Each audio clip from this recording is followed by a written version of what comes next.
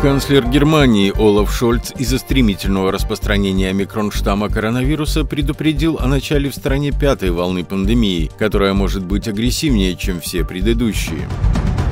Между тем, жителям Германии рекомендовали из-за пандемии максимально ограничить контакты. В сообщении Института Роберта Коха говорится, что такие меры следует поддерживать до середины января 2022 года. Один из крупнейших цирков в Европе, цирк Кроны, в связи с текущей ситуацией с COVID-19 в Германии приостановит свою рождественскую программу. Это происходит уже второй год подряд.